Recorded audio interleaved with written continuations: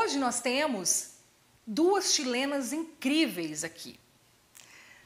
Pilar Struga, diretora-geral do grupo Favatex no Chile, uma das maiores importadoras do mundo.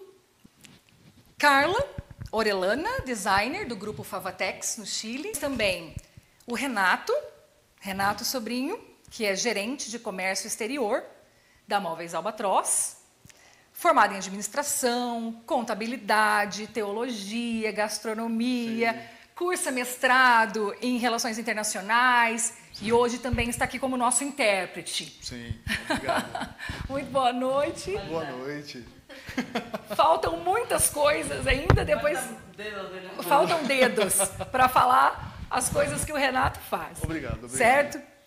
Bom, então, muito boa noite mais uma vez a vocês. Boa noite.